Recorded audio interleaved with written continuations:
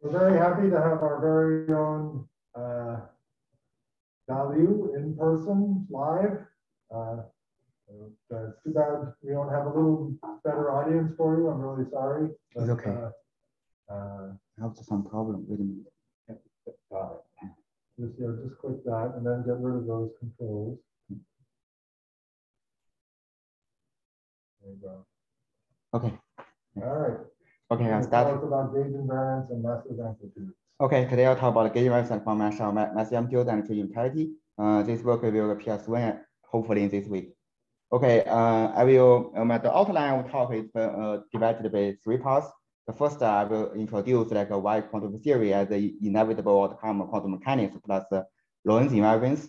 Then I will go on to say the, the recent development in the scattering amplitude community uh, have indicated some, some on-shell way to formulate, maybe there's an on-shell way to formulate quantum field theory I will introduce this group and unsure list and mass amplitude. Then I will discuss the, the, the, the work uh, uh, we, we, we have done in the, in the past two years the gate, we derive gauge, gauge invariance from on-shell massive, massive amplitude and tree level unitarity. Okay, uh, the argument of this Lorentz invariance uh, of S matrix is following. We define the, the S matrix as a, uh, the operator uh, projecting from the in, from from uh, either either overlap between the in state and, and out state. We if we want to use this operator language, we can we can define the the the uh, S operator as a, as, as the operator between the between the free state phi alpha and phi beta. Then if if you divide the, this this Hamiltonian into the free Hamiltonian plus interaction uh, uh, interaction term, you in the time-dependent perturbation theory, you can uh, uh, write uh, the the S operator as, as the uh, as the uh, in, exponential integral of, of, the interaction vertex interaction Hamiltonian. So basically, and so it can be shown if you can write the interaction Hamiltonian interaction part of the Hamiltonian as the scalar integral of the of, of some density and the density is a scalar in the sense you have the free trans the Lorentz transformation, it will transform itself uh, plus some coordinate transformation. If we commute and space-like or lat-like, uh, uh, uh, if, if, if it commute at space-like lat-like separation, then you can you can prove there exists an operator, uh, uh, the same operator u lambda acting on the in state and out state. This ensure uh, the the Lorentz invariant as matrix.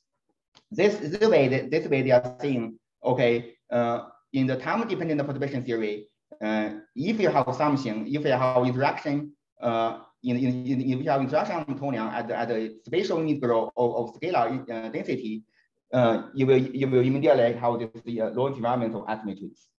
Uh, but um, there is another principle called the cluster decomposition principle. Is saying on the, on the other hand, if if you you want to if you can write the Hamiltonian in terms of uh, uh, creation and annihilation operator, and the coefficient of this operator contains single spatial momentum conservation delta function. You, you, you can see immediately the S matrix satisfy uh, the the class uh, cluster decomposition principle, which which uh, which is saying distant experiments should yield unrelated results. Basically, in the amplitude fact, uh, uh, factorized into different parts. So then on the one hand, we are saying if we want to log Lorentz invariance, uh, environments of S matrix, it seems like we want a locality become manifest because there is a density uh, interaction uh, Hamiltonian. But on the other hand, if we want a cluster decomposition principle manifest, it seems to indicate the Hamiltonian should be written as a function of annihilation and creation operator. Then to reconcile this uh, Lorentz invariance plus quantum mechanics, then we'll say we should build this, this the Hamiltonian out of quantum field theory. This is uh, one big argument saying uh, if you consider Lorentz invariant S matrix and plot cluster decomposition principle, the, the, uh, the two things naturally call for quantum field theory as, as the building block, at least at a low energy. So uh, this is a very nice argument, but recently, uh, um, due to this uh, uh, marvelous simplicity of the maximum helicity violating amplitude. If you look at this formula, it's very compact and for n gluon, of course the tree level n gluon maximum helicity violating amplitude, this is just one line. And uh, this has motivated a lot of research saying, okay, you can we can formulate the, the perturbative uh, gauge theory in the in the twistor space, and uh, eventually we, we have some BCFW recursion relation, or we can say in, in for super Yang-Mills, we have some amplituhedron formulation. This this this, uh, this may suggest that that there may exist a way to un, there may exist on-shell formulation of quantum field theory because of this uh, uh, this uh, marvelous symmetry, marvelous symmetry that are not manifest in the Lagrangian formulation. Uh, uh, on the other hand, we were saying we, we want to make locality uh, manifest, but we, uh, uh, uh, in, on the other hand, we are making this symmetry, this, this marvelous simplicity of the amplitude very obscure in the Feynman, Feynman calculation, Feynman root calculation. So this is the, the introduction saying why um, we are we, we are very interested this uh, this uh, this question is uh, is there any on-shell formulation conference theory really possible or not? Okay, uh, then before we are going to this uh, to answer this big question, I, I will say uh, uh, what what we have known now and what's the progress be, be, being made recently. Uh, they all starting from the little group definition. Um, the little group definition we're saying is a, is a subgroup Lorentz group and uh, either, either transformation will, will leave the momentum invariant, this definition of little group. And according to Wigner classification, the particles can be defined as irreducible representation of little group. Uh, this, this is starting point is we're starting from the particle, then we want a Lorentz environment, then we, we build a quantum field. This, this is the logic uh, we want to adopt, uh, adopt. But we're saying, but here we're just saying we, we, we starting from the particle, but we're starting from this uh, uh, this uh, three particle on shell amplitude, we build our higher point on shell amplitude. This is another logic.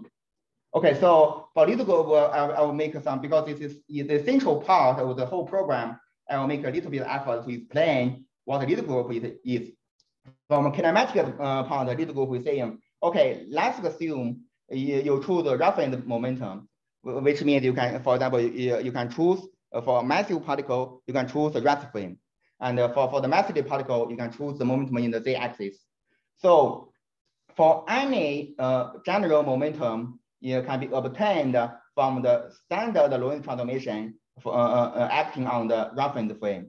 You choose because there are a lot of uh, Lorentz transformation can, can boost uh, uh, k mil to p mil, but you choose a specified version. and then the, the general transformation will be uh, uh, will, will, will, will be you can define a general transformation for, for general transformation lambda you can define a little group uh, element as as as this uh, as lambda le lambda l this you can check immediately this will keep the uh, reference frame, the same and uh, in the in the Hilbert space which is means in in the Hilbert space means you have a rest frame you can define a general general momentum as a, as a, as a unitary operator acting on the, uh, the reference state, then the general Lorentz transformation uh, will be in, induced by the group transformation, which means you have the U lambda acting on the general state. The, the transformation, uh, in addition to the transformation of the momentum, you also transform the little group in the indices, which means uh, the whole Lorentz transformation is, is induced by little group transformation on the Hilbert space. This is the most uh, uh, important part. Then uh, let's go some detail. For the uh, massive particles, the little group is uh, you, you can choose the, the standard momentum to be on, along the z-axis. You can see the little group is just rotation along the z-axis and also some, some combination with rotation and boost. Basically, this is ISO2 group. But to avoid continuum state, we only consider the rotation along the z-axis. Otherwise, the, the, the, state will have a, a, continual label. So for the massive particle, the, the things become much similar. Uh, like is, uh, you can you can boost the rest frame, and uh, and uh, the the little group will just answer associate. This is the representation of little group will just in the, the spin degree freedom. Okay. So basically, uh, once you have the little group uh, definition, you can you you can try to to say uh, the introduce the massless spin helicity variables to make the little group transformation manifest. Let's see how how we uh, how, uh, uh, how we can do it. It can be employed by the by the property of SO3 Lorentz group. Actually, it's locally isomorphic to special linear group at, at the in the complex space. So if for any four vector, you can define a two by two matrix, and the the Lorentz uh, inner product will be the determinant of the uh, of, of this uh, momentum matrix. And um, because for the massless particle, the the p square equals zero, which means the, the matrix, the rank of the matrix is one. The the the um uh, the momentum matrix can be factorized in terms of spinor helicity variable lambda lambda cubed. So then, what, then what does it mean by saying this uh, spinor helicity variable make the little group transformation manifest? We can see, we can we can employ the same logic as we define this uh, uh, the momentum and then the standard transformation and, and general transformation. We can see we, we can define uh, uh, standard spinor helicity variable lambda k uh, associated with the, the standard momentum. Then the general momentum lambda uh, uh, for uh, the uh, the spinor for the general momentum will defined by the standard Lorentz transformation. And then the, the general Lorentz transformation are acting on the spinor variable. It's just the phase rotation depending on the, the, the lambda depends on the momentum, which this transformation exactly coincides with transformation on the state, which means the if you look at the spin helicity variables, they are uh, under the Lorentz transformation acting on the spinor, uh, helicity variable, they are really transformed uh, uh, as a little group scaling. And, and, and the, the Lorentz covariance of the, of the, of the Lorentz covariance of the S matrix will, will have this group scaling as a function with helicity. This, in, in other ways, the, the amplitude, the helicity amplitude, a natural function of spinor helicity variables but the, with the little group transformation manifest. So recently, uh, I think by by uh, Nima Yu-tin Huang and, uh, and another and, and collaborators, they, they introduced saying the massive spinor variable is the same thing, similar to the massless one. For the massive one, you have SO3 repetition, then you have spin degree freedom. Then for, for each uh, uh, spinor variables, you, you, I, you adding on spin index equals plus one half minus one half. Then the momentum will, will, have, will can, can be seen in the inner product of the two uh, massive spinor variables. So uh, the on-shell condition can be imposed by determining the lambda alpha equals m, but we, well, I think we, uh, I will not emphasize it more. But I'm trying to say, then what, what, what do you mean by uh, make little group transformation manifest in the massive spinor variables? In the same way, similar to the massless one, you're starting from a, from a, a, a reference momentum, then you define the standard Lorentz transformation, then a general Lorentz transformation, uh, either, uh, in addition to the transformation momentum, uh, the, the spin degree freedom will be also transformed. So this by, by which we mean is uh, we adding a little group index i such that the group transformation, uh, uh, the, the, uh, to be more precise is uh, the group transformation corresponding to the general Lorentz transformation will be become very manifest. And in this language, the amplitude as a function of mass, massive spinor variables is saying they, uh, they are they are complete, completely symmetric rank to tensor. This is the basic thing. Uh, uh, sorry, can I ask you this? Is, sorry, can I just ask some questions about this part? Okay. So, so I should think of so the variable i goes from one to two, right? Yes. So should I think of the set of the lambda alpha as a Dirac spinor, a Majorana spinor? There are two spinners, two Weyl spinors here, right? Should I think of them as together making a Dirac spinor? Uh, lambda lambda tuple together will make a Dirac spinor. So if I want lambda, you can think the lambda as uh, uh, you can think lambda really uh, as a, a Weyl spinor. Right. The two Weyl spinor will become a, a Dirac spinor. But not a Majorana spinor. So if I wanted to describe a Majorana particle, um, the Majorana spinor is the same thing, right? Yeah, but there's a reality condition. Yeah, yeah. Upon upon reality condition, yes. Okay. just, okay, so I should just think of it as a Dirac spinor and I may or may not impose a reality. Exactly, exactly. I'll keep the freedom. Yeah. Okay, uh, the, the natural thing that you know, this whole language is saying uh, the, the, the relation between the massive amplitude and the massive amplitude become very manifest. You can think uh, is uh, the, the lambda has a, has a two spin degree freedom, uh, plus one half and minus one half. But uh, I can choose, this is our convention, but I can always choose this, is lambda i is the spin along the momentum. It's not only about the spin, but it's spin along the momentum, which, means given a frame, lambda one half will become lambda, uh, uh, sorry, lambda plus one half will, will become a plus helicity, and lambda minus one half will become helicity. I choose in the Hanicity limit, we always know that, that, that the, the, the minus one half will scale like root E, and plus one half, lambda plus one half will scale like M divided by root E. This just tells you the lambda essentially in the UV will corresponding to the negative helicity state, negative massless helicity state, and lambda tilde plus one half will will uh, uh, corresponding to the the plus uh, plus helicity uh, final state in the UV. This make a, a connection between UV and IR. For example, if, you have some uh, UV amplitude, you can you can follow some procedure to deform to the IR amplitude.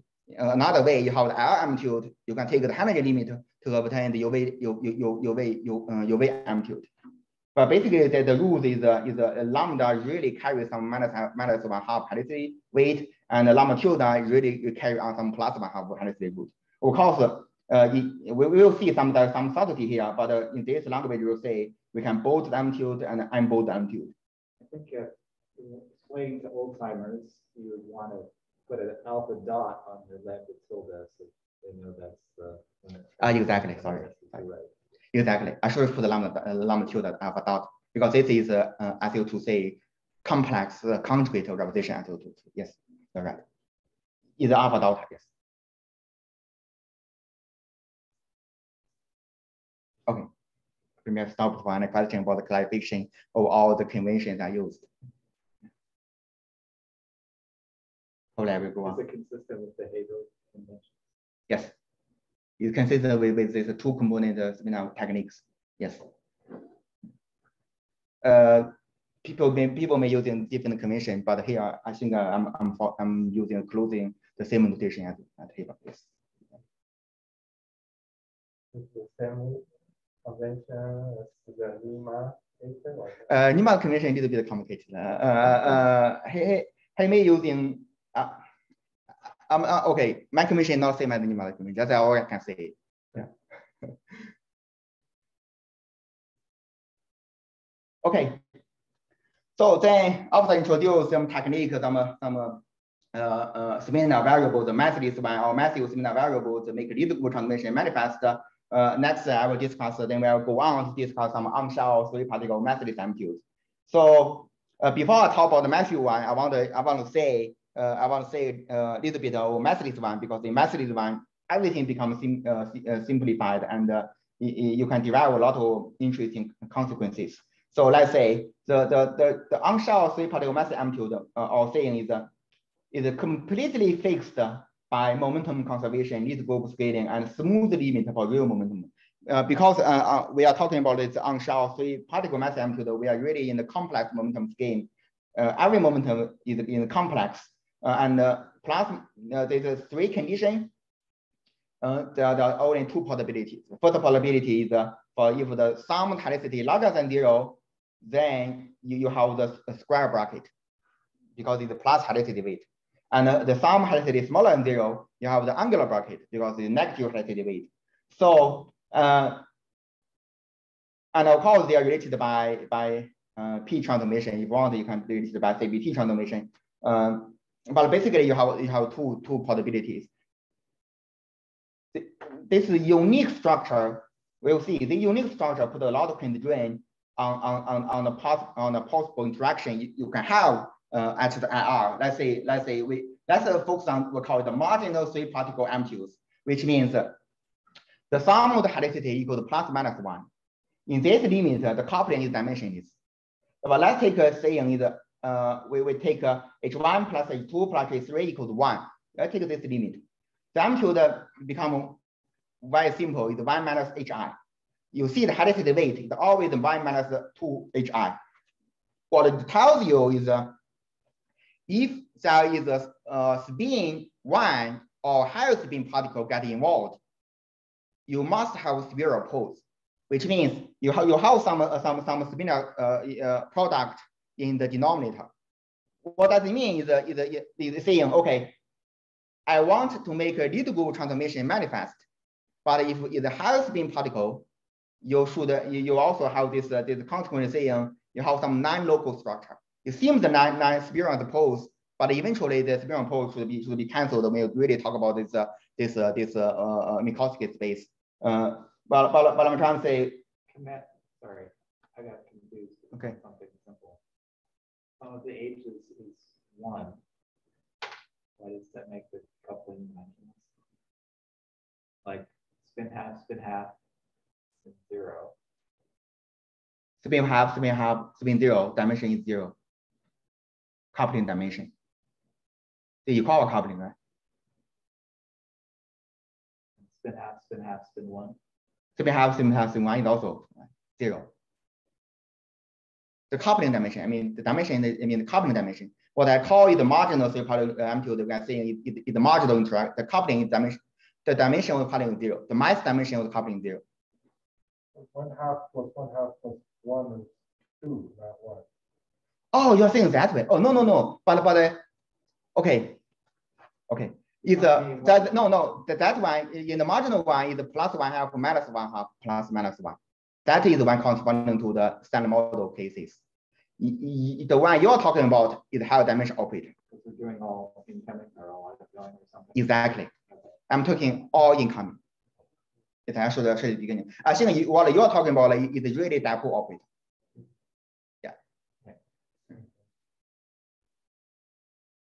Okay. Then uh, now I will go through all the three uh, part. Sorry, sorry? So what, what exactly is the condition of a, a, a spurious pole just means any pole in a three-point function? You're saying that Yes. you're requiring no poles. Uh, uh, spurious pole is saying uh, uh, because you are in the complex momentum, Right. you have some poles. But but but like, i- i- we know that in in in the in the real momentum, everything goes to zero.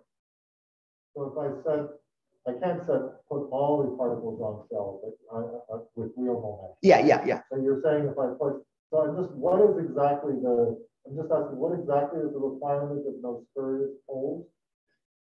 No, no. Uh, uh, the requirement is no no poles at the four particle, and uh, you you, you should preserve locality at, at the four particle at at, Yeah, at, but at I mean, particle. I don't necessarily see that by just looking at the three point. No, no, you cannot see that. But at three point particle, you have poles.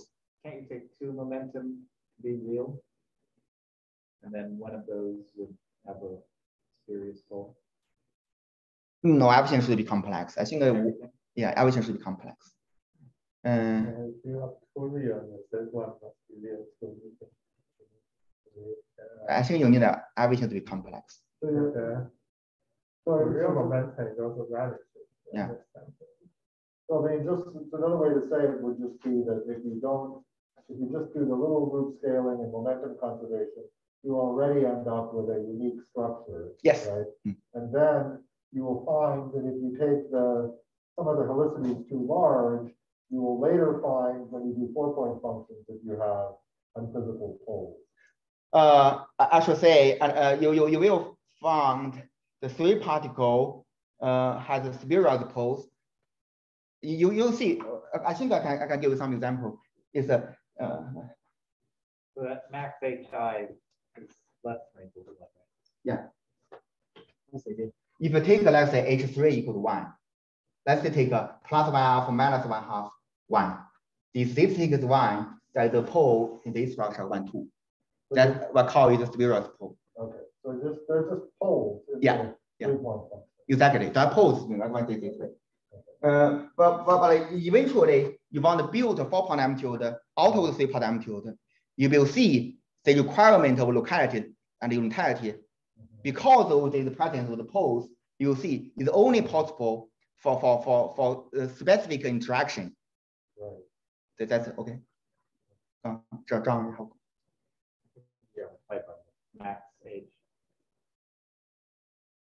HI less than one. Less than, you're just saying you should reverse the inequality. No, la- larger than larger or equal to one. Larger than one. Then he's saying you get the bad thing when it's big. Yeah. You're saying you want the good thing when it's small. It's the same thing. Uh, I'm trying to say you have bad. You have now this limit. You have the bad thing. Okay. Uh, because let's say if h h three equals one, this and this satisfied, you have superimposed in one two. So uh, that's what I mean. Yeah, that's why there is a dramatic difference between spin one particle and spin one half and spin zero. Okay, now I will go through all the three particle on uh, uh, three pa- particle on shell massive amplitude uh, considered in, in this work. Uh, first of all, I will consider scalar fermion fermion fermion uh, mm, mm, uh, uh, amplitude, uh, but I also point out this is uh, this uh, Lagrangian to, to, to match the coefficient. In principle, I can write down the amplitude directly without refer to any Lagrangian, but I want to match the coefficient such that uh, everything becomes clear. So, so uh, I also surprise the the the uh, fermion indices, which means uh, that the H and H uh, and the coefficient H is a matrix in the fermion index index space space. So uh, so basically uh, for this uh, uh, fermion fermion scalar interaction, uh, uh, they are very simple. There's no subtlety. You see, you, you can just starting from this uh, this 100 limit, then you bold it, you get the L amplitude. You're starting from Suppressing that you mean the flavor index? yeah flavor index. You mean you have to have maybe, maybe I have I have arbitrary number of scalar, arbitrary number of fermion, arbitrary number of massive uh, uh, uh, vectors. Yeah. But for for for simplicity, I, I supply this uh, fermion indices. Uh, and H is just a coupling constant. The H is not Higgs field. H, is the coupling constant. The notation that uh, the the Cornwall is using, I'm, I'm just using same notation. H is coupling constant. Uh, the, the two term are released by parity. Uh, but not, not, not, nothing is subtle here because you can, you can easily say once you have your way, you bold it together IR. Once you have IR, you go to the 100 limit, uh, bold to unbold, very simple. But uh, things will be very very complete when you consider spin one particle. Here I consider this spin one uh, arbitrary number of spin one particle, uh, arbitrary number of fermion. This is the coupling. This is a coupling matrix in the in the, in the fermion basis. Oh, but we will see that some, some interesting happen in let's say in the IR, I see there is some mass singular singularity, which means the way M1 goes to zero, there is singular. But uh, in the UV, you have some spurious pole. Well, you see you have one spurious pole in, in, in, the in the in the square square spinor product, uh, and you have one mass singularity. And uh, in, in this, way, you, you have to do a little bit of work to, to uh, for, for example, you, but you can also starting from this UV amplitude, you're following some procedure to deform to this bolded version, but you have to do some extra work because you have this, this mass singular, singularity. But, but it's, it's straightforward. I'm not, I'm not sure into the detail, but what I'm trying to say uh, is, uh, is uh, uh, you will see for, for any spin one particle, for massless one, the amplitude has a zero pose. For the massive one, the amplitude has mass singularity. This, this, this you will see, uh, uh, see things clear. And also, you can see this object, single object, also consider a scalar fermion-fermion interaction.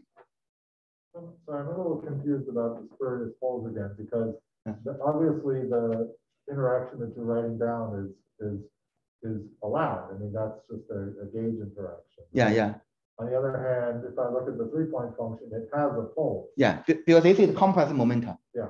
So, but before I thought you said that we were trying to avoid these poles. So these poles are okay. They're okay. Because you're gonna, when you finally require that they cancel, then you get gauge invariance, right? Uh, this pole are okay in the sense that uh, I'm talking pole in the complex momentum. In the Yeah. real momentum, there's no pole at three party one amplitude. Good. That's what I'm trying to say.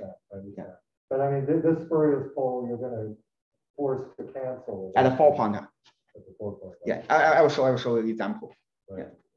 And also you see this single object also consider a scalar uh, uh, fermion fermion interaction uh, and and determined the determined by this uh, mass of the, the, the fermion and and the mass of this uh, uh, this um, vector and also this uh, the the the uh, uh, coupling matrix L and R. If you look at this immediately, you will see okay, this is the Higgs mechanism, right? They they are saying okay, if if this is the gauge coupling, this is the mass, this relation tells you the longitudinal component of W uh, uh, uh, the fermion interaction is equal to the fermion proportional to the fermion mass divided by V. That's basically the, the Higgs mechanism.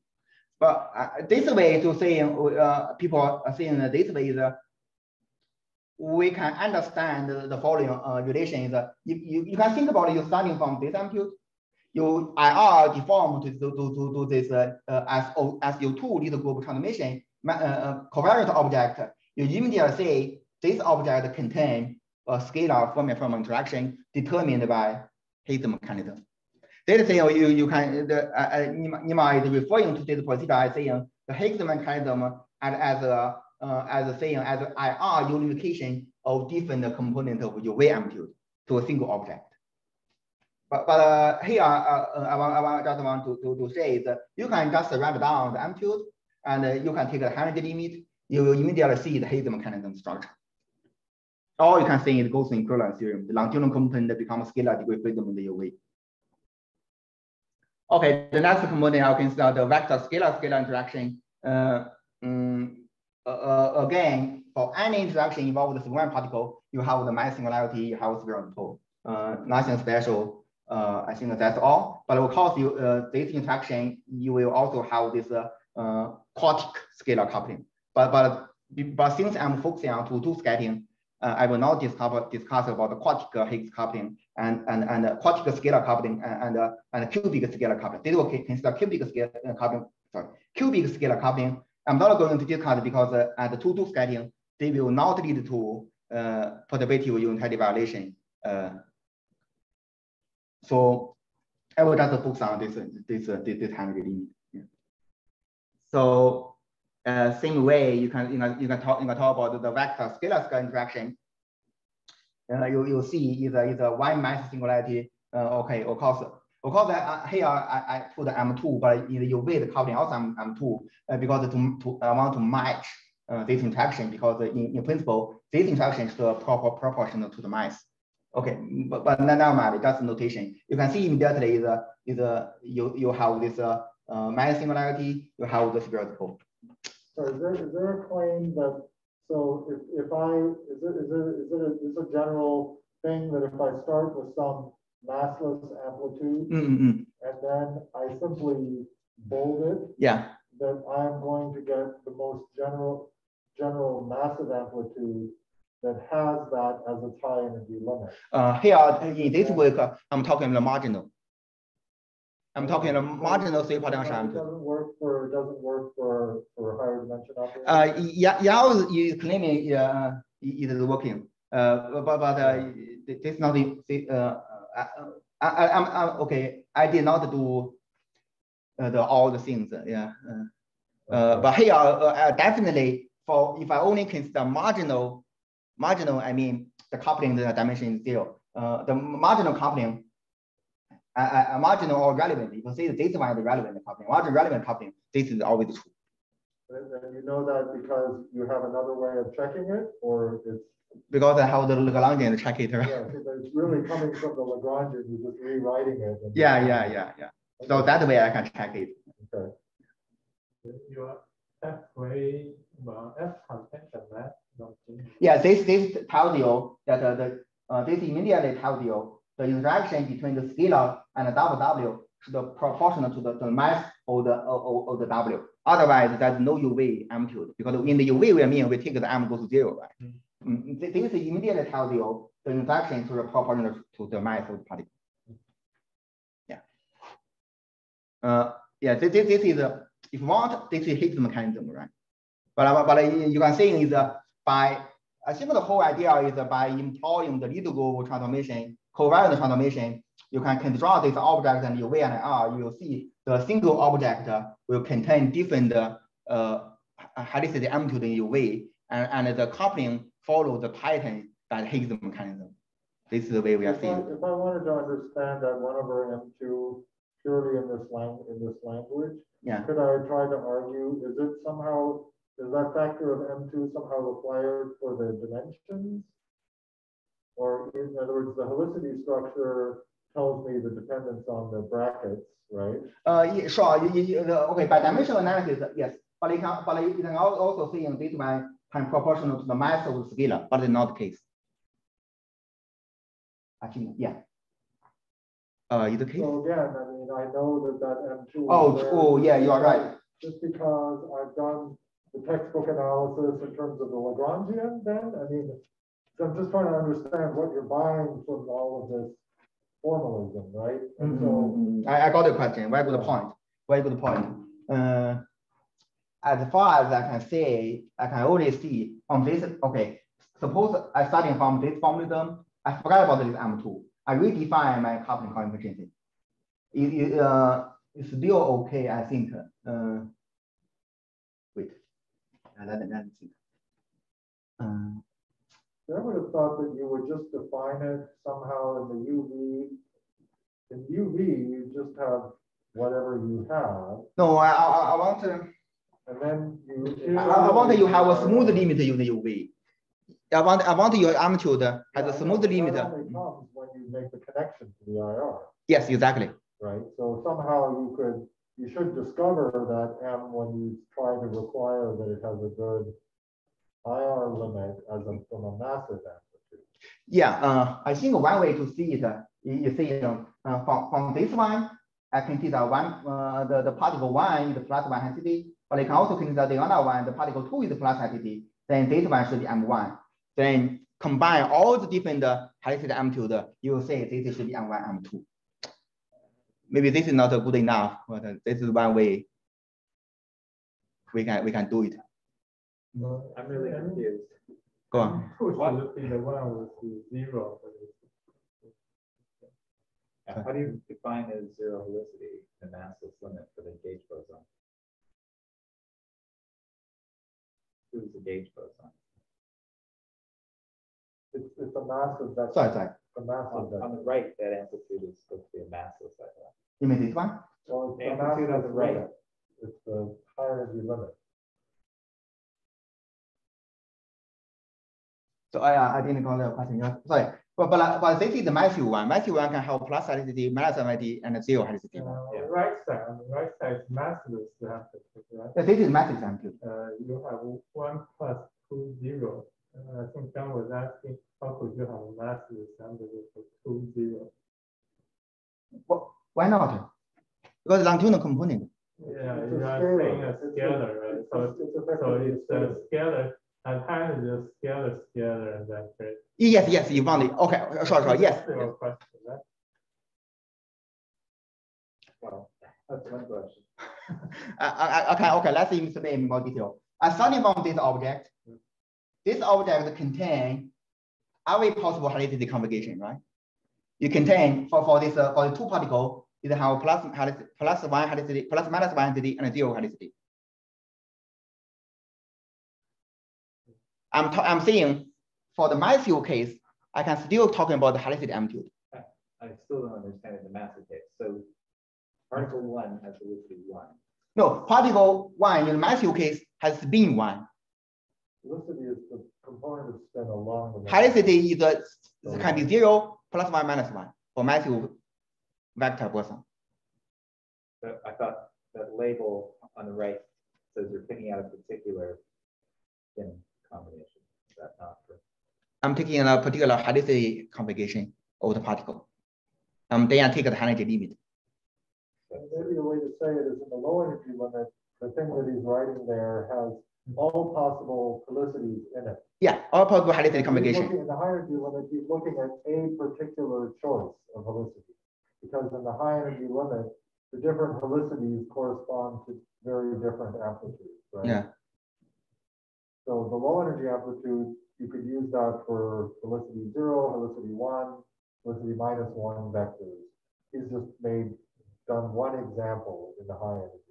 Yeah. You have a, a lot of possibility. For example, I think you, you can have, no, You're- this is, You're assuming the Higgs mechanism here then. no, I'm not assuming Higgs mechanism.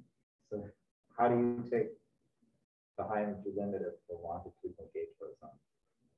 I'm starting from IR, but you, you agree that only one structure? Okay, that's only one structure from this amplitude. Let's pretend we understand why there's only one structure. Yeah, then then I'm, I'm trying, uh, uh, then uh, the one thing, the why, how do you add in M1, M2, right? That's it, that's your question. No. Take that structure, take the high energy limit of the gauge It's boson. just uh, you, you do some algebra together, right? That's- Yeah. That's what. um, You, let's say, from this, Rather the bold one as uh, some linear combination of the bolded one, one is go like square root of e. the yeah, yeah, yeah, Then you decompose into many components, one of them. exactly, exactly. That's Yeah, what- okay, I should say, this one carry index I.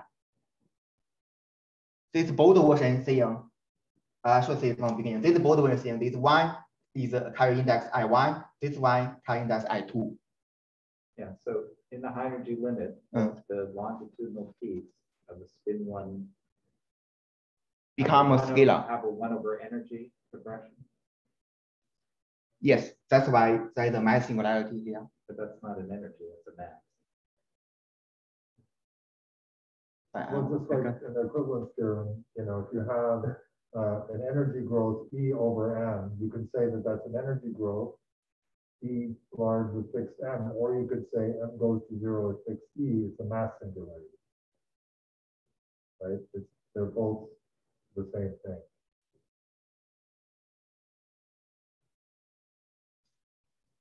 But uh, let's think this way. Let's say if, if we take the, if I want to choose the one as a plus one helicity, this one, I think the, the square bracket has helicity one half. The angular bracket has helicity minus one half. If we want to choose the plus one, you need to choose the, this one should be plus one half. This one is also plus one half. Then you, you get a mass inversion. Because uh, you, you want to convert the angular bracket to square bracket, you have, you need to have, okay, I can do this way. Let's think this way. Here, if say, you, if you're studying a square bracket, the, the bold version to be a square bracket in the UV is fine. There's no mass suppression. But if you want to take a limit to get a minus, minus, minus helicity of this one, you need to have M suppression. That's why that you have the cancel the minus singularity. Yeah, I don't see any e's in the formulas, that's what I'm asking.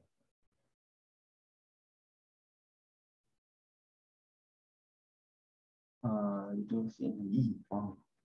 The, the- the brackets are like square root code of three. I, I think it should be some cancel, some momentum cancellation. Uh, Okay. So- I'll, so- so some one kind- more question. So spin one, spin one scalar. Yeah. That's a dimension three operator. okay, Why does it have a dimensionless coupling? It has Dimension for that. F for that. F with dimension I four. thought we were restricting to dimensionless coupling. Like- No, I'm just uh, considering relevant and marginal. Sorry, I should be more specific. All right, Yeah. Sorry, sorry. I'm, I'm considering the relevant and marginal, let's say this way, relevant marginal. If want in, in, in the renormalizable company. Okay, then the, the, I think this is the final one. Oh, this is maybe the final one.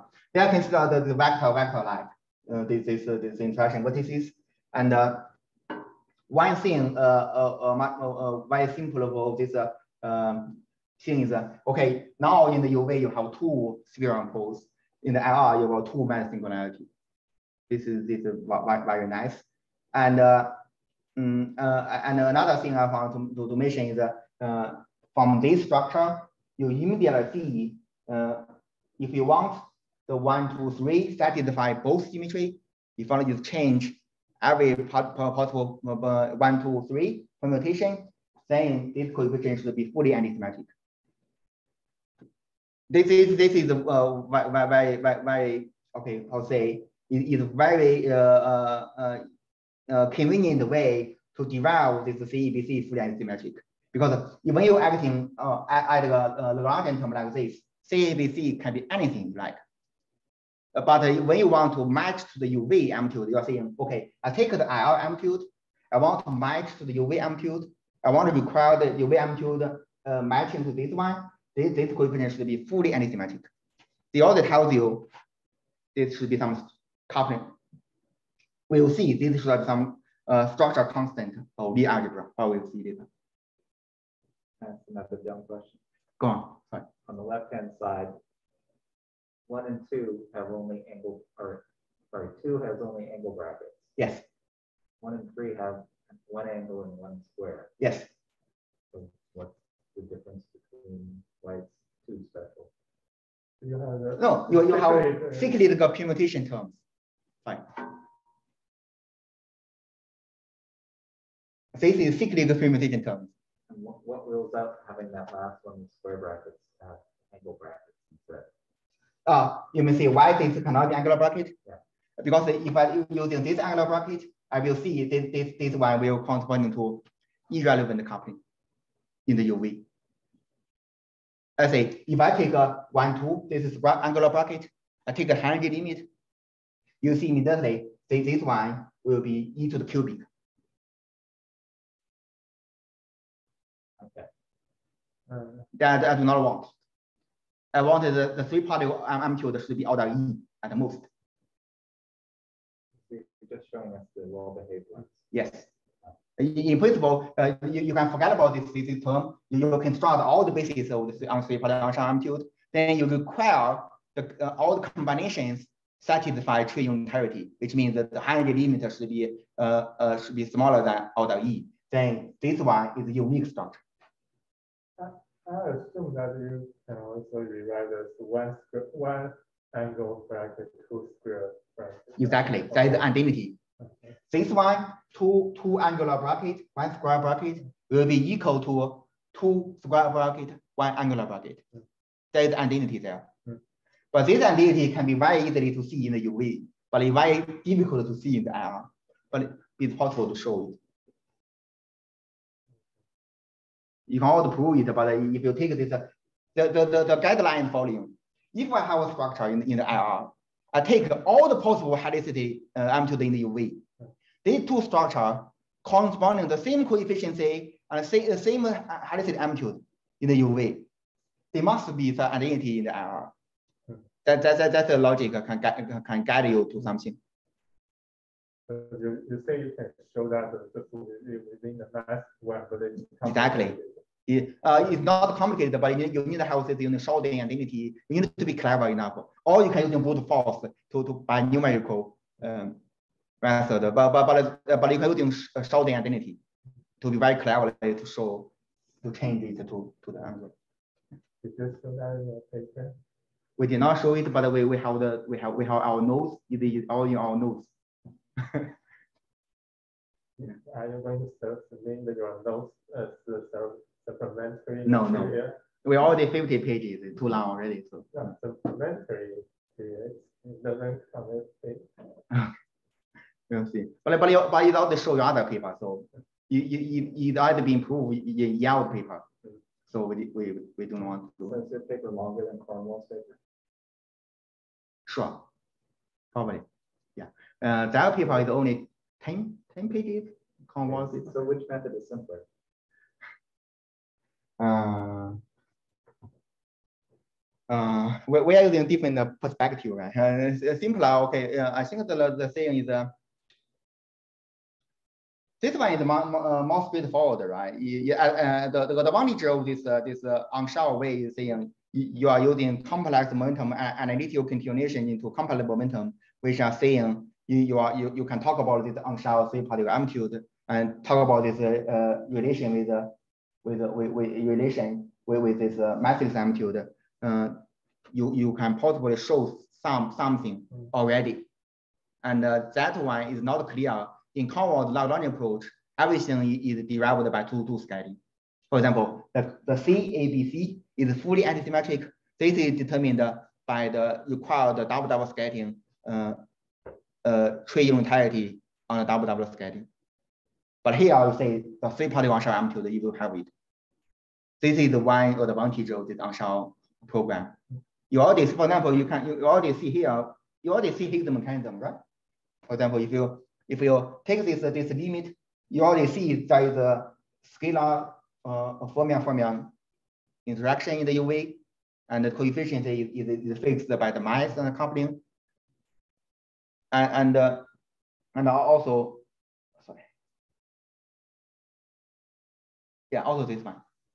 Oh, you you you also uh, show this one, this structure also consider a, a, a massless vector uh, scalar scalar interaction with with this uh, dependence on on the mass of the particle. Uh, if if you are using this Cornwall's approach, this identity you need to work a little bit algebra. But here you just you are using the fact that there's only one structure in the IR. You take the uh, uh, high energy limit, you immediately obtain this definition. That's the advantage. Can you remind us why the bolded spinors can't be in the denominator and then unfolded ones can?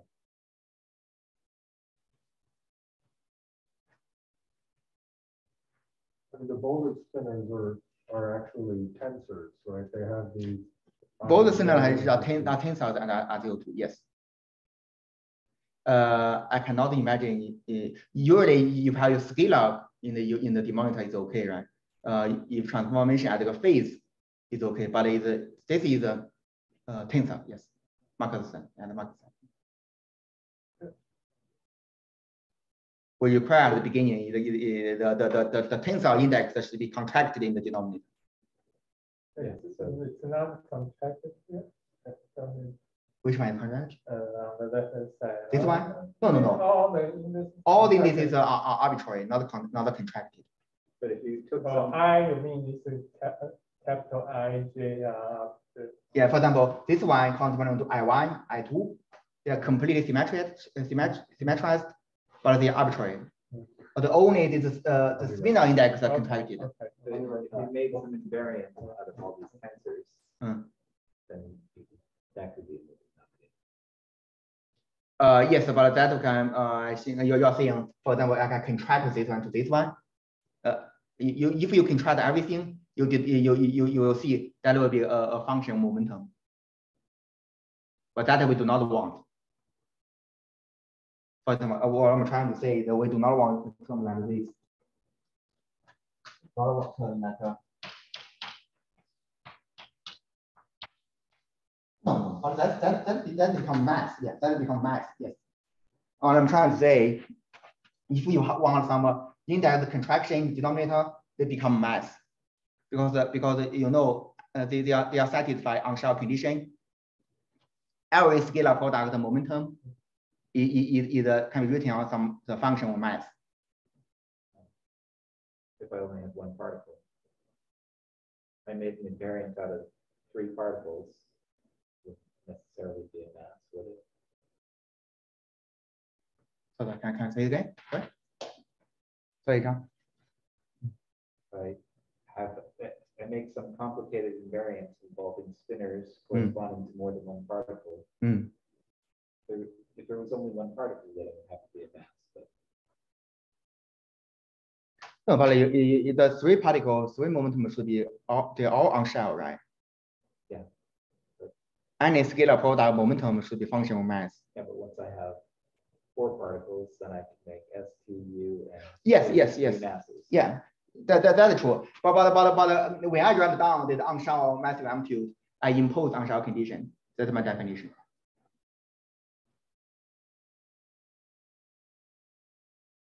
Yeah. You, eventually they give the Right, same answer. could be a spurious pole in S, for example. But then cancels, like the spurious poles on the right-hand side, you're allowing spurious poles on the right-hand side. Yeah, but, but the spirit, pole, as, as I said, it's just the, the function of mass, right? I can, I write it down directly using mass. Why not? Why, uh, why should I write down P one dot P two? For example, you are saying, okay, I think you are saying to say, why I cannot write down? because it's only three particles, Yeah. Then I can write down this uh, function of mass.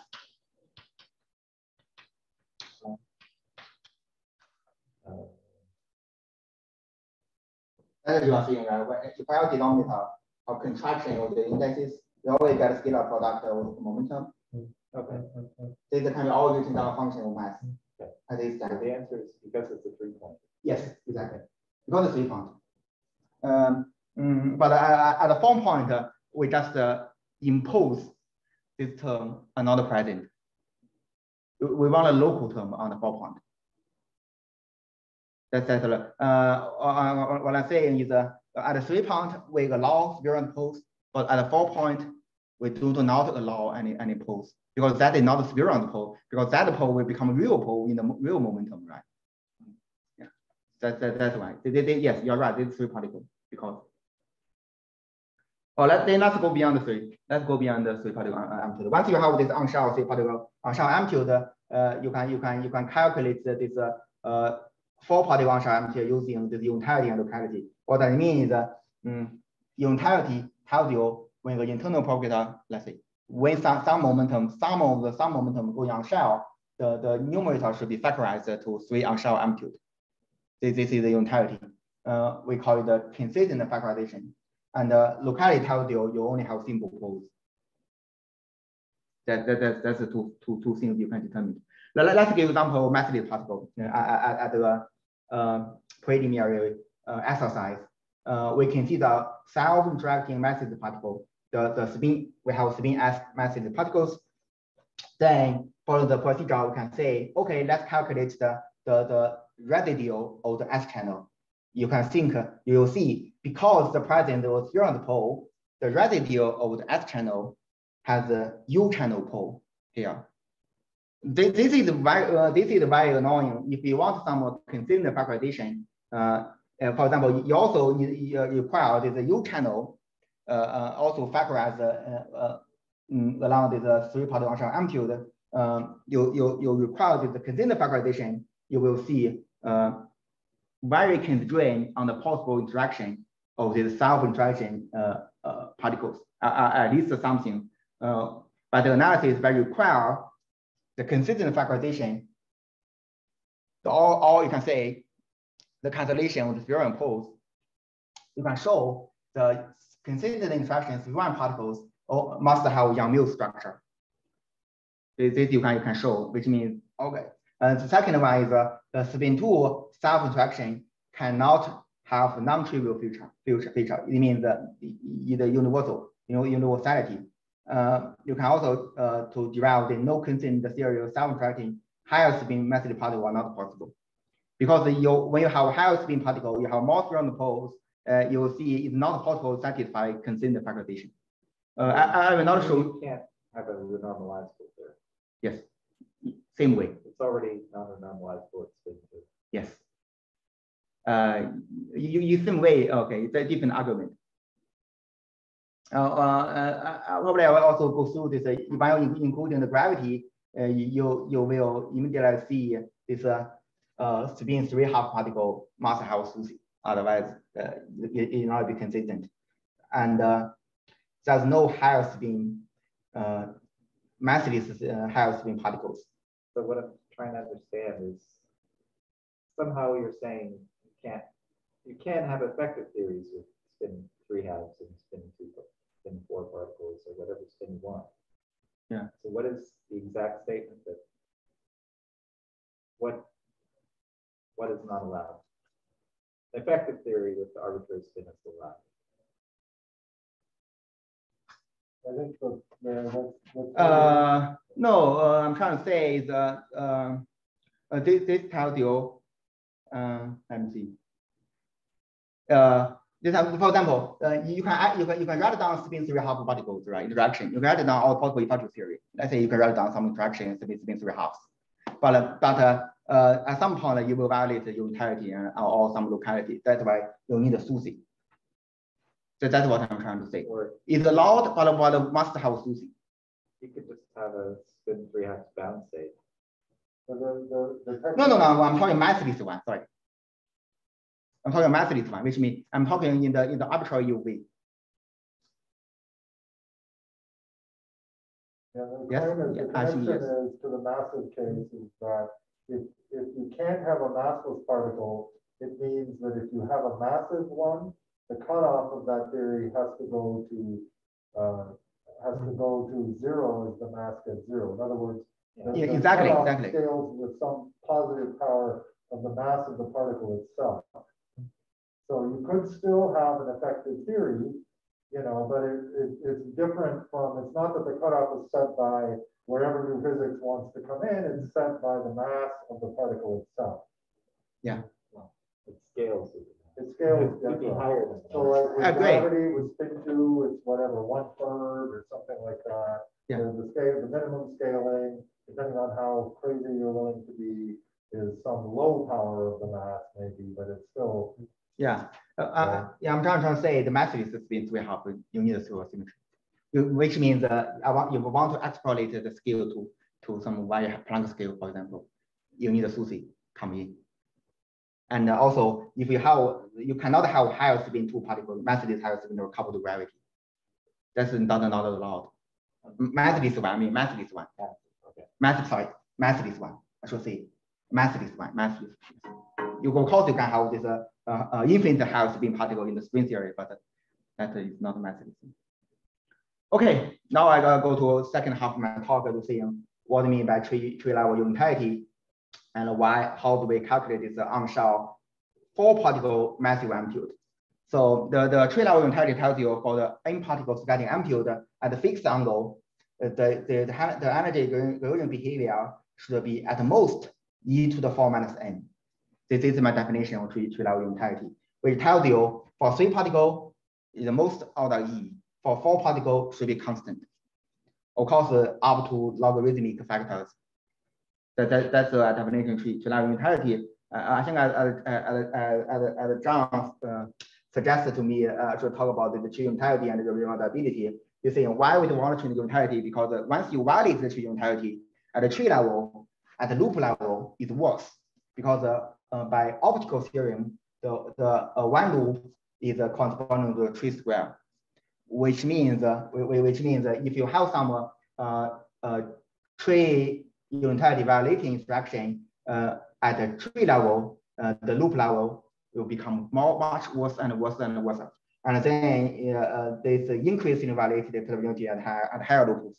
The theory become you can say is not a realizable, but in the Monday language, you can also say the, uh, the scale, the cutoff is very low. Yeah, this is basically we are seeing. If we want a very high cutoff, we, we want to impose the tree unitarity. Okay, for, for the massive amplitude, uh, you, you, uh, for the massive one, you only need uh, this uh, consistent factorization, but for the uh, massive amplitude one, you, you need a, you need a, a contact term. Uh, you need a, you, uh, for example, you, you, are, you can calculate the residue, you will find some energy gradient behavior, then you, you, you're adding on contact term to, to satisfy tree unitarity. This is our procedure. We, we starting from a three particle on-shell amplitude, when we're gluing them together and, uh, and, and we calculate residue, uh, then we, we, we, we, we, we, then we adding some contact term with the arbitrary coefficient, then we impose tree unitarity. All the coefficients are fixed. This, is the procedure. Of course, of course, at here, from three particle on-shell amplitude, because is on-shell condition, you can you can write the uh, the amplitude in different ways because there, there is a lot of identity there. But but uh, that is only reflected to the coefficient of, the- of the contact term. In other words, you can start in a three particle on-shell amplitude arbitrary way, any way you like. Uh, for three particle amplitude, amplitude, then then the, uh, the coefficient of contact term uh, will be different. So we, we can, I will take some example, like gauge boson sector and calculate double double scattering.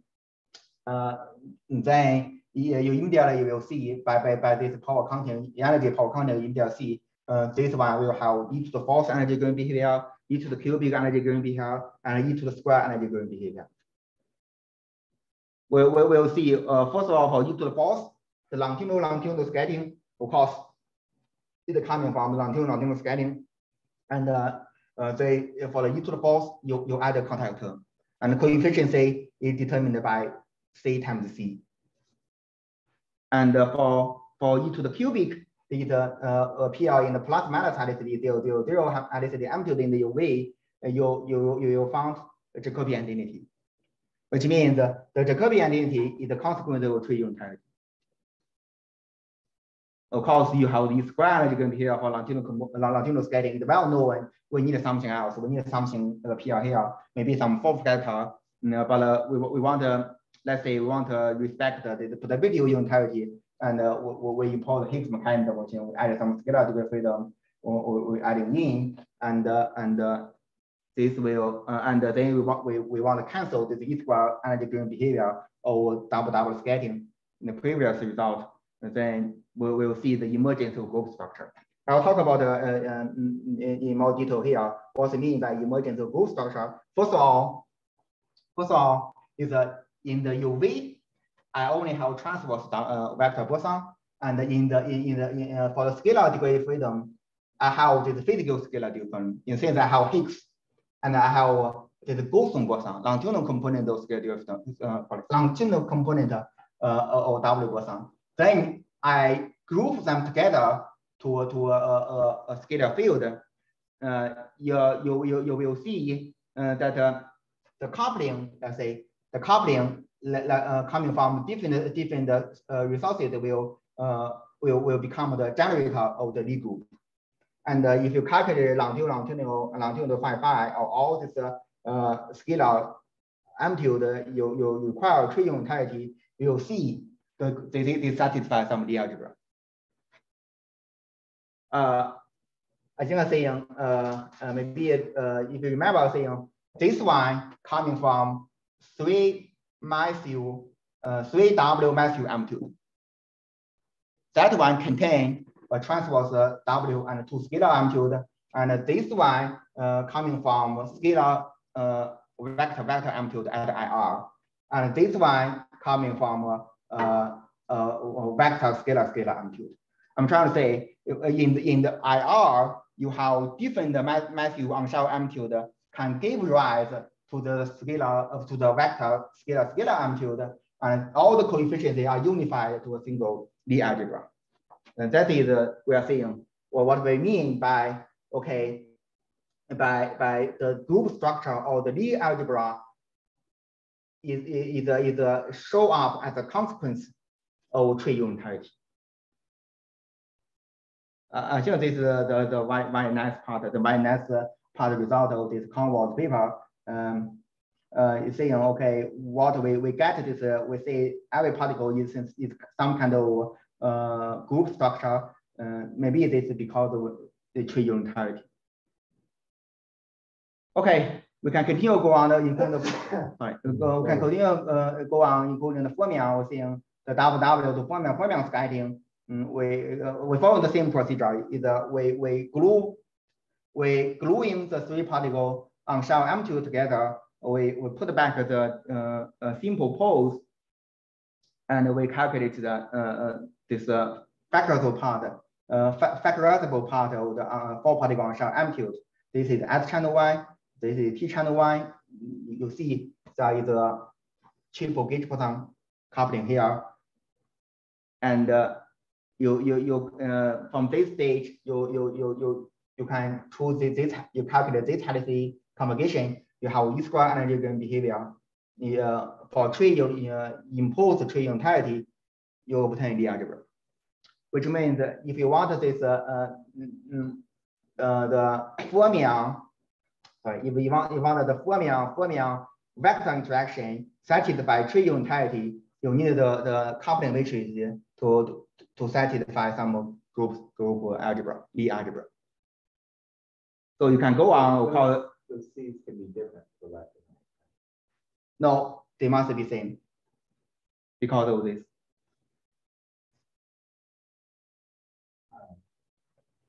Here I only show R, but uh, this this this this this form can also have uh, uh, L in, in interaction. But here right, right, you might see.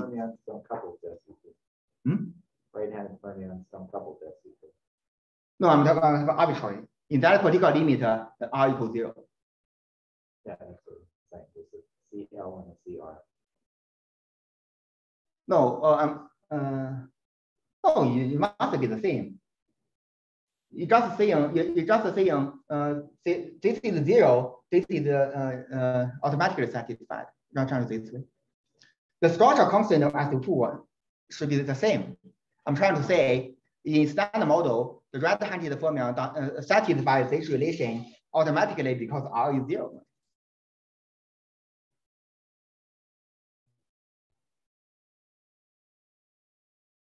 I want to emphasize this same are the same uh, are the same structure constant corresponding to the uh, self interaction of the uh, of the vector boson. In other words, the self interaction of the vector boson determine the structure constant of the algebra, and every interaction between the fermion and the, and, and the vector should be satisfied with the algebra, determined by one coefficient. Saying you could have gauged SU2 left cross SU2 right. There's different gauge groups. Yeah. Then there'd be a C left and C right.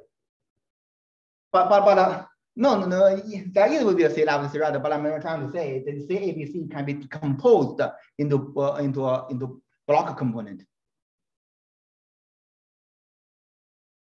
That I'm trying to say. CABC okay for the semi-simple uh, group CABC does uh, just the same. But for the not but, but the product group not not semi-simple uh, group this one can be decomposed to different blocks. That's what I mean by CABC.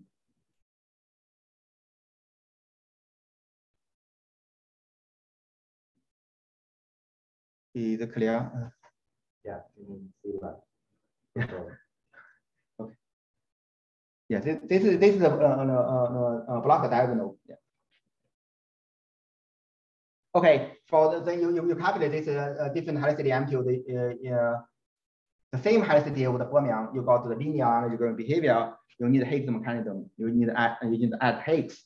Uh, uh, let's say, uh, let's say in this way, this uh, scalar fermion fermion interaction we will preserve gauge invariance. In, what, does it mean by preserve gauge invariance? Is the saying, okay, I I group the longitudinal component, the vector boson, and the physical scalar uh, to, uh, to all the scalar degree freedom. So the interaction between the fermions and the, the all the scalar degree freedom. The matrix HI corresponds to physical scalar, HA corresponds to longitudinal component of W. Uh, uh, I, uh, I, uh, this definition is completely fixed by the high energy limit of, of, of the previous on-shell amplitude. And uh, this single object, this group of matrix satisfy this satisfy the identity here, which means this HI is an invariant tensor in the fermion index space. In other words, if I if I uh, if I write the Lagrangian term, scalar fermion fermion with this complex matrix, this interaction term will preserve the, the gauge transformation. Because this is generator. For the generator, generator, generator, it goes to zero, which means this coupling matrix is the invariant tensor. That's I mean gauge invariant, gauge invariance. This identity coming from the tree unitarity.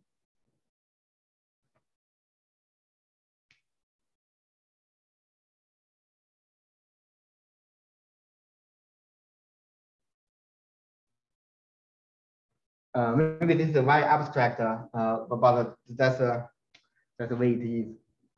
Uh, I mean, this is somehow the, the, the massive gauge boson exchange is high energy growth is being canceled by the Higgs exchange, right? Yeah. I mean, the fermion fermion gauge boson scattering yeah. is canceled by Higgs exchange. Right. But it's not the masses of the fermions that come in the power coupling. One is not a mass of the fermion coupling. M J psi. There is a mass of the fermion. Yeah. Where in the diagram is that mass appear? Sorry? Where in the diagram does that mass appear? Let me show you.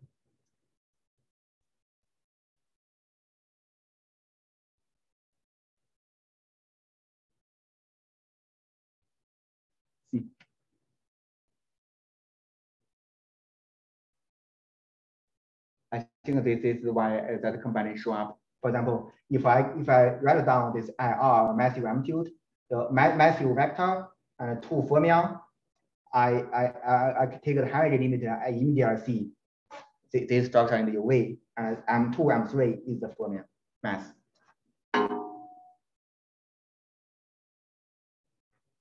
That's why I define that that, that the interaction vertex.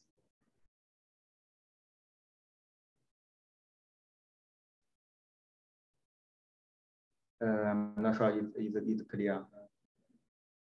I mean, unitarity would all work in the phase where the Higgs is zero, all the cancellations. Oh, that's why, oh, okay, we, we did, we, we did not uh, describe, we did not describe that particular limit. That particular tells you uh, everything in the matrix, right? Yeah, uh, but there's still your Cal couplings. Yes. And those are what would appear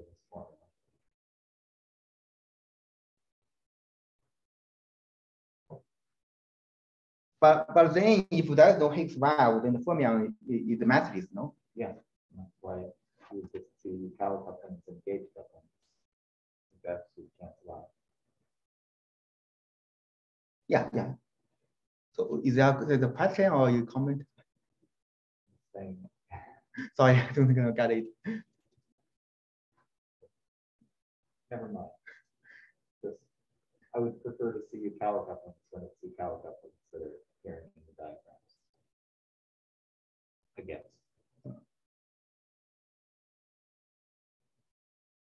This is your copy. Yeah. Scattering amplitude you were calculating, there's no. This is your copy. Yeah, exactly. So that's what should appear. Next formula. Yeah.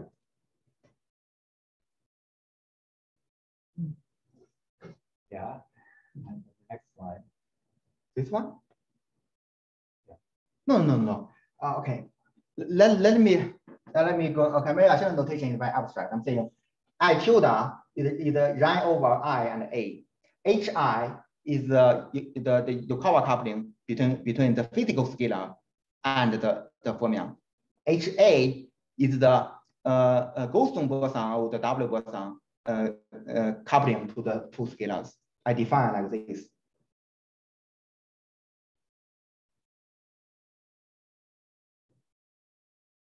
Here, HI tilde, this identity involve HI and HA. Involve everything. Which means uh, in the UV, the physical scalar waveform, the, waveform combine with the uh, longitudinal component of gauge boson to a single object HI tilde, and this HI tilde satisfies this identity. All I'm saying is the vev cancels out of that definition, so you didn't include that as part of your definition.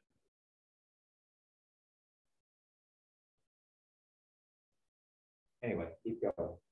I'm not sure, uh, because even if the cancel out, it still has something remaining, right? It's just in the on-shell approach, it's natural to have the mass appearing. So the coupling is proportional to the mass. Yeah. So the constant of proportionality is the vev, if you like, right? Right. Even even let's say in in, in a particular limit, uh, uh, uh, the, the, the value goes to zero, this should be uh, Yukawa coupling divided by gauge coupling, right? It's still there, not uh, 100% canceled out. It's just a parameterization when you're dealing with on-shell amplitude, somehow more natural to work. I mean, yeah, in other ways, saying. Yeah, it, it, doesn't matter, it's just notation. Yeah, yeah, yeah. Oh, yes, that's true.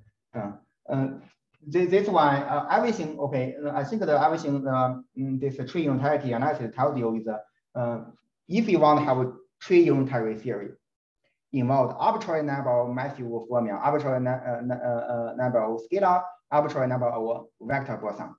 And uh, you, you know, the theory, if the if one theory is be satisfied tree unitarity, the longitudinal component of gauge boson and the physical scalar should combine uh, object uh, the interaction will preserve some Lie algebra, some group uh, uh, symmetry. That, that is the whole essence is uh, in the UV, the physical, all the physical scalar and longitudinal component are in the same object. Of course, you can you can satisfy this condition using block diagonal part. It's always possible to satisfy block diagonal part. But I'm trying to this is the most general condition you must satisfy.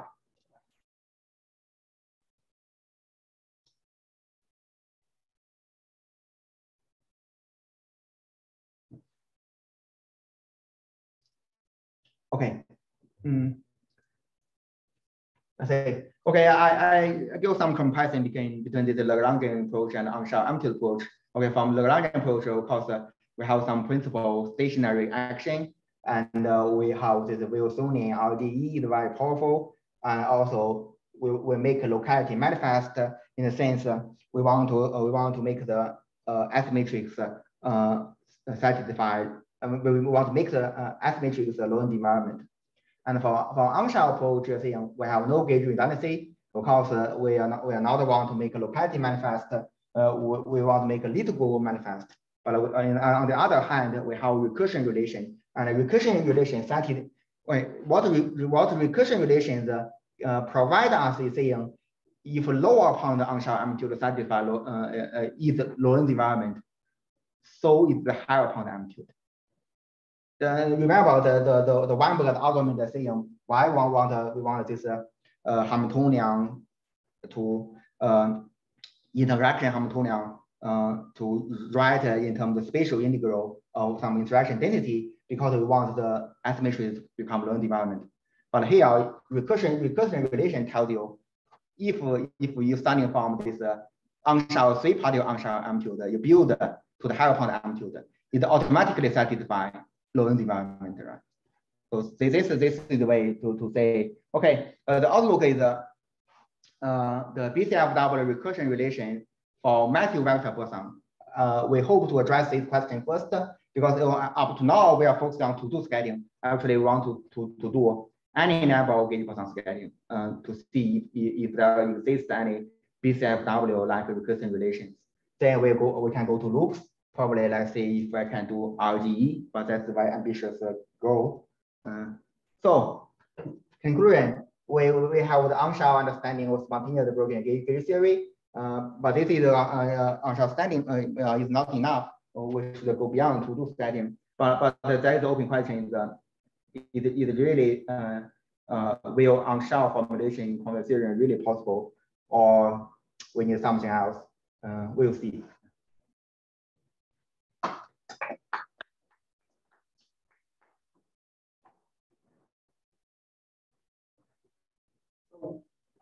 I'm also just sort of not clear what did the on-shell formulation buy you, or what does it potentially buy you? Because, I mean, in the end, you are, I think, are you looking at, you're looking at the same processes that mm -hmm. Cornwall and company looked at, mm -hmm. and you're imposing the same constraint on those processes, yeah. namely that they are, don't grow. Yeah. Right? So is it more than doing their calculations in a new form, in a new, you know, language? Uh, but, but this, I should say the, the, the, the as, I, as I mentioned, this uh, one advantage is that you are able to talk about the three-party on-shell amplitude, massive amplitude. That is one, one advantage compared to convoluted approach. Uh, I think for, for three-party on-shell amplitude, um, we, we are trying to use, we can say more conservatively for the for the for the four point on-shell amplitude, we can say more conservatively is uh, we provide the alternative calculation. You can see this way. Well, I mean, so is it is there a logical gap in uh, Cornwall and Company? I mean, they started with a Lagrangian.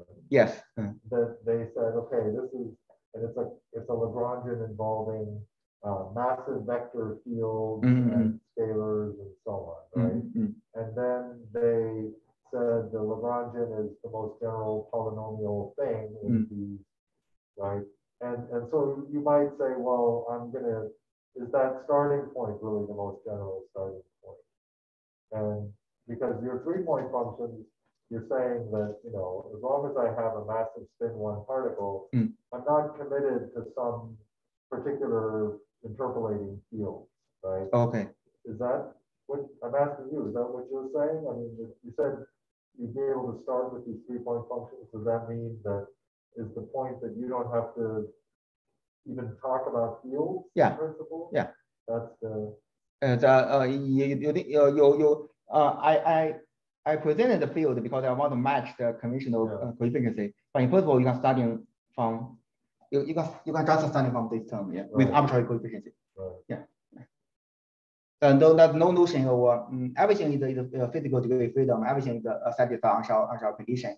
Um, uh, it, more conceptually, at this point, I should say, for, for, ma- for, for, of course, for massive design, mm, you have this BCFW recursion relation, you have this, uh, maybe in, in Yang-Mills, every, I, amplituhedron, a lot of stuff. For the massive one, uh, one, uh, I should say, the, the, the, the, same procedure applied here. Uh, mm, but you want to go beyond this, let's say, uh, I think first, uh, first, uh, study should be, say, for the BCFW recursion relation to the massive uh, vector field. If that is possible, I think this will say uh, any tree level uh, on shell massive amplitude can be determined in this way. I think this is much That's powerful. right, I mean, for the, yeah, that's right, this whole business kind of got kicked off in a way or rejuvenated from, yeah, as you say, BCFW. Yeah, yeah, That was showing that you could use, that on-shell amplitudes were sufficient to construct the whole theory. yeah, yeah. But for the massive one, this, this is not clear yet. Yeah, I, I only talk, talk about the two-two scattering. We need to go beyond. Well, I, that's what I'm trying to understand, I'm trying to understand what is, uh, because I, I, I, I took somewhat of a dive into this stuff and I I just never could understand what, in the massive, in the massless case, there are clear advantages, Mm. right? But in the massive case, I haven't really understood what the, the real, what is the power of this. Uh, for uh, the, the power, uh, the, for the massive one, I should say the power for three particle on to the is, is, is very easy to see, it's very powerful. The, uh, you can starting from massive one to deform to massive, um, um, massive If one. you don't have BCFW. you are Exactly. Logically, are you logically just going through the Feynman rule? No, no, no, no, no, we're not going to Feynman rule. We don't have BCW, uh, uh, but, but, uh, but we, we, follow this procedure. Yeah, but what justifies that? I mean. uh, The unitarity and locality. The unitarity tells you when, when some momentum going on shell, uh, the, they are factorized from on shell amplitude.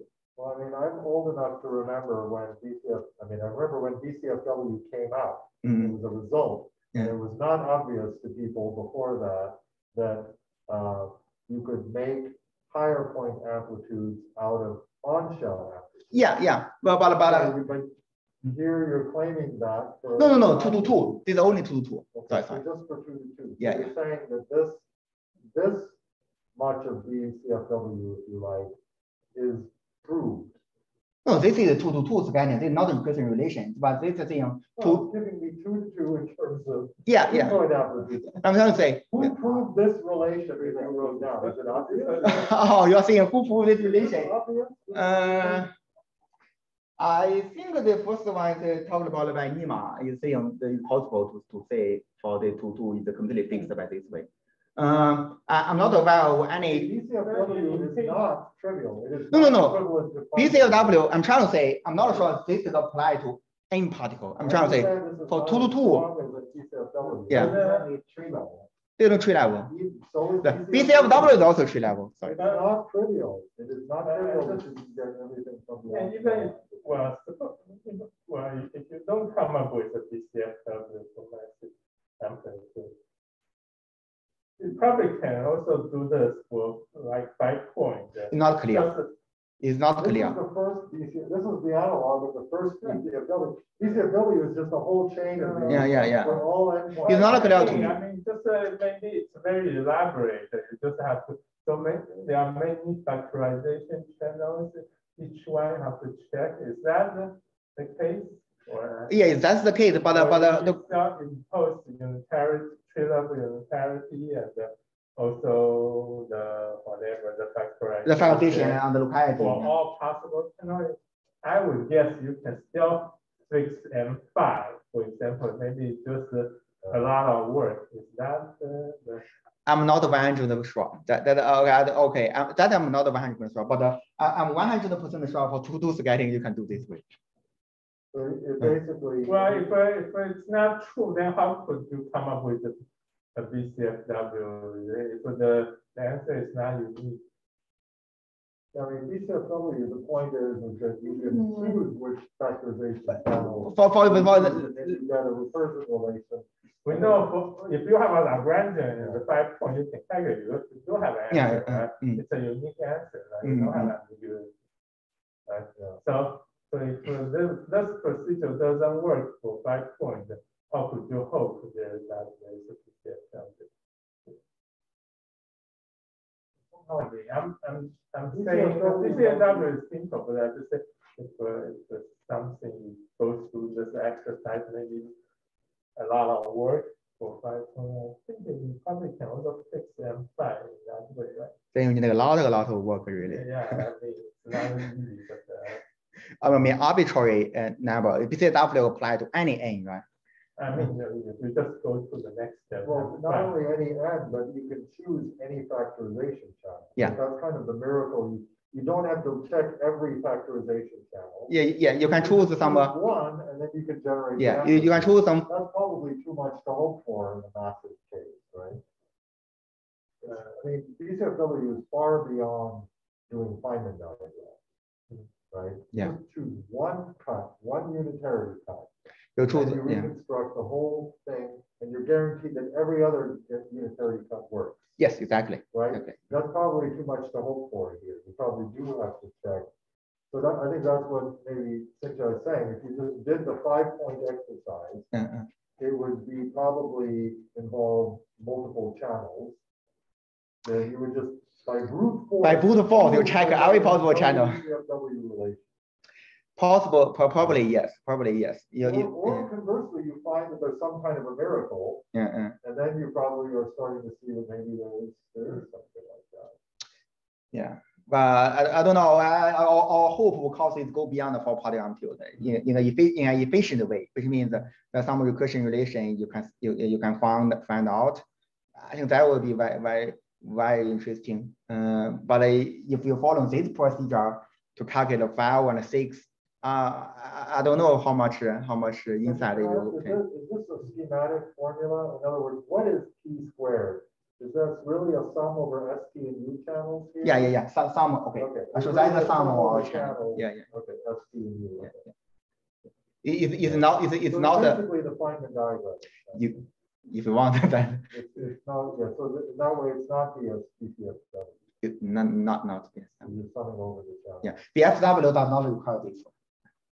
Right. So that's probably already the proof that you can't, there's no BCFW, right? Because No, no, no, no, for, no, no, I'm trying to say for, for, no, no, for, for massless one, you can also uh, calculate this by following this procedure. That's In the denominator, should it be m c square minus m square? Or uh, the P square minus uh, um, I square. Yeah. Sorry. I, uh, this one, this one is for massless one, I just copied that, got to add, you're, you're, you're absolutely right. Yeah. There is a sum, there is a mi square. I'm trying to say, for massless one, you can also calculate the total scattering following this procedure. You calculate the STU channel, then uh, uh, uh, residual, then impose consider factorization, everything fixed. Mm.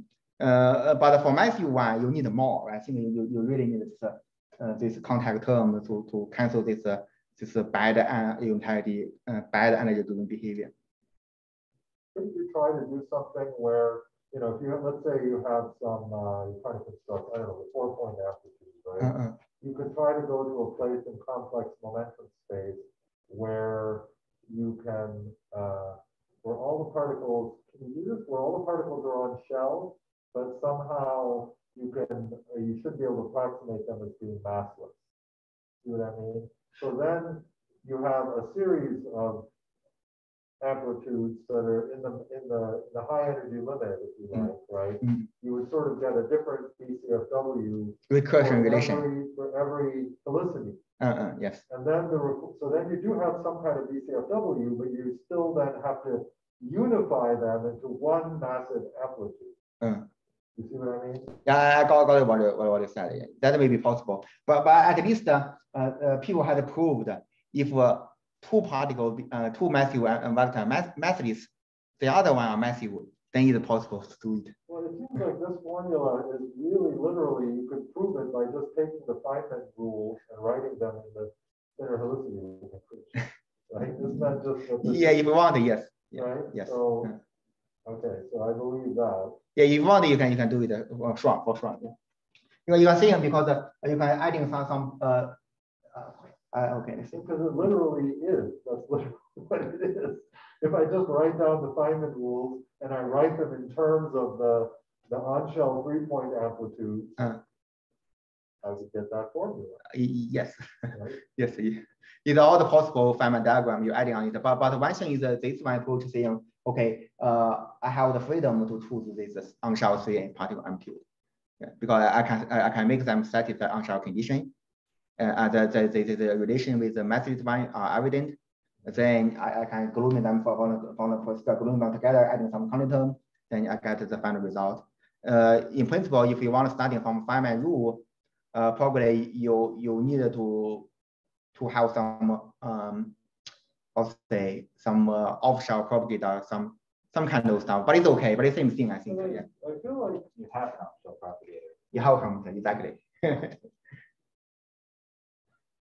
I feel like, I feel like somehow we should be able to use, uh, somehow you should be able to use BCFW for the massless limit, at least in, for every helicity state separately, right? yes, that is always possible. Yes. Right. The the the the uh, the, the the the point is uh, let, let let's say that the point is in, in- we want to calculate in the in the helicity in in the massless amplitude because we know all the mass limits are using BCFW recursion relation. We know the massless one. Then the question is uh, how to determine the massive one from massless one. What's the procedure to to obtain obtain it? That procedure not clear to me. Uh, for for for three point on-shell amplitude, I have the procedure. Three But that's the- But that's the only case that doesn't make sense to me, because there, there is no Mandelstam, right? Normally, like for two to two scattering, what is the condition to be a high energy amplitude where you can neglect the masses? It's just that all the Mandelstam var- variables are large compared to the mass. Yeah. Right, but for the three point amplitude, there is no Mandelstam, so what is the condition? You know, on the complex momenta that you can neglect the mass, uh, obvious. oh, what, what, what, what do you mean? So- so that, that- For example, in this one, this particular energy limit, this one is, is scale like order E. It's much, much larger than the mass of the particle.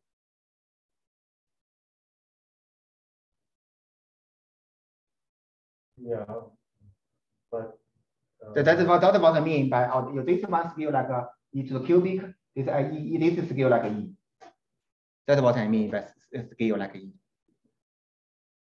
The on-shell condition tells you, uh, the on-shell condition tells you the square bracket times the angular bracket equal to the mass. Right, In this limit, the, the, the square bracket is order E, the angular bracket is order M right, divided by E.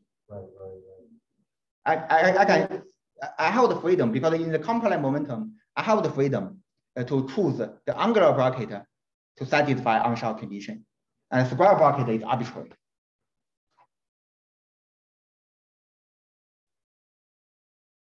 So if the three-point function is, um, I guess for an on-shell three-point function, should I think of it as always having, uh, dimensions of mass, Yes, right? And Yes. so then condition, the, and condition that it's high energy if it's on-shell is just that its value is larger than the mass.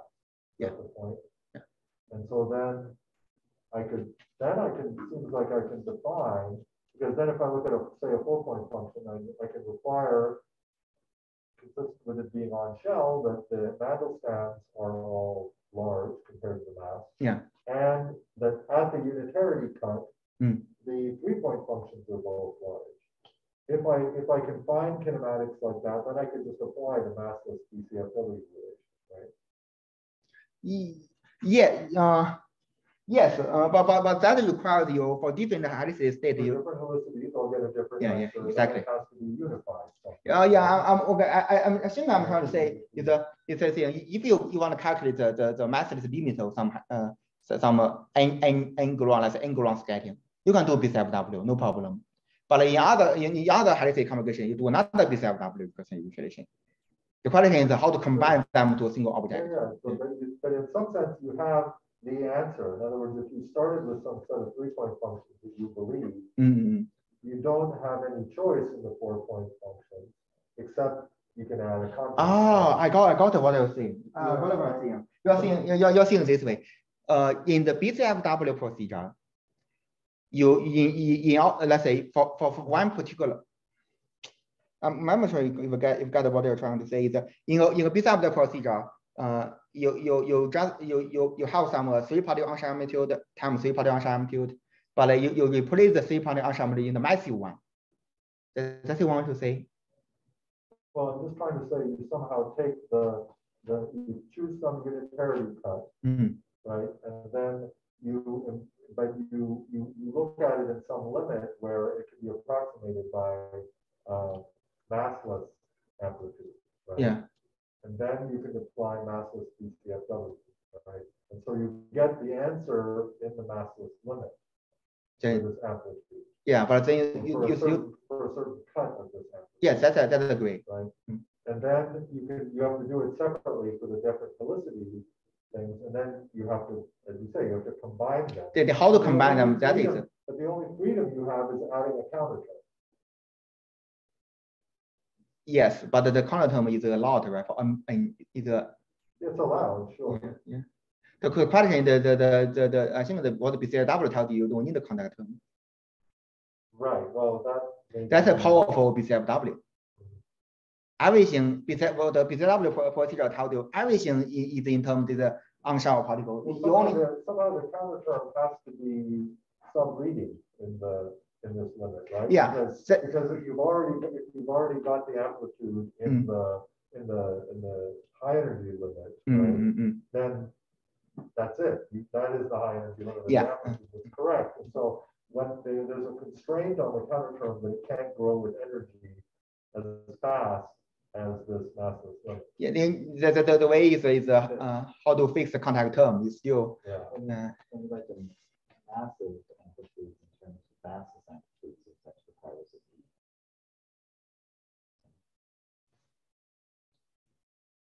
This counter term has the cancels and energy growth. Sorry.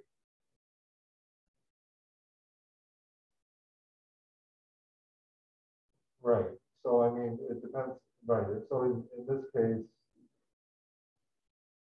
yes.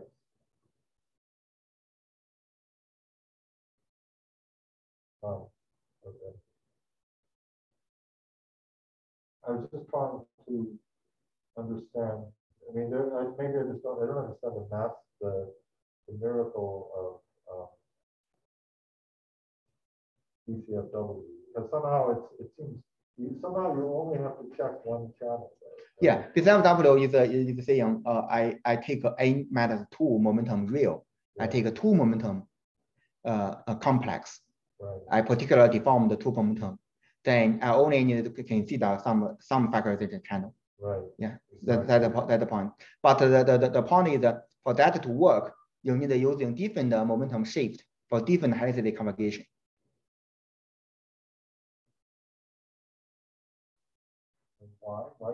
Try to use the same?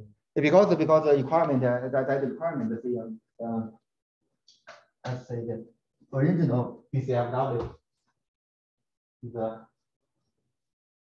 is let's say, one minus two plus, you can deform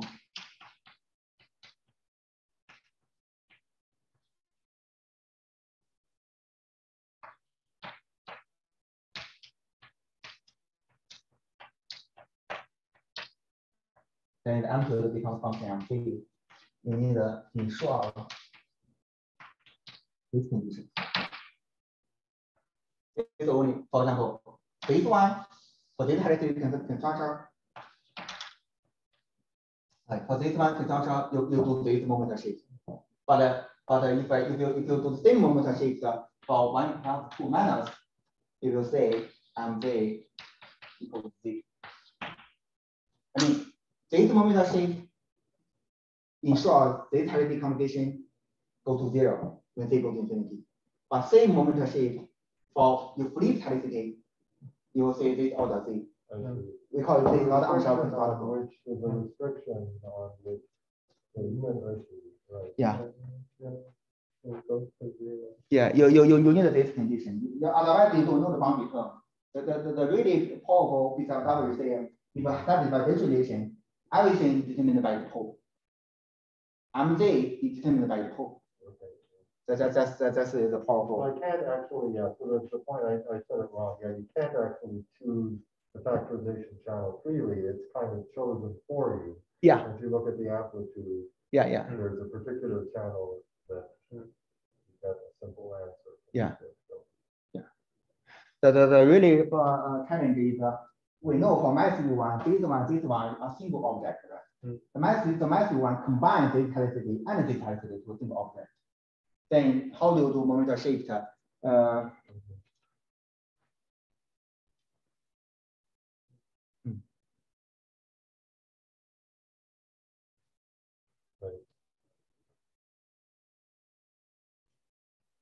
Like I said, I mean, I, I, I still wonder if this stuff, I honestly wonder if this stuff is really good for. massive- I think if I can find some BCFW equation relation for massive one, I think that will be very powerful to calculate the. Yeah, okay, Uh, I mean, do you think there's a hope? I think uh, maybe I, I will try. Yeah, Uh, that, that will simplify all the calculation from the multi-boson production. I think that will multi-parton production, multi like gauge boson, top quark, for the massive one. Yeah.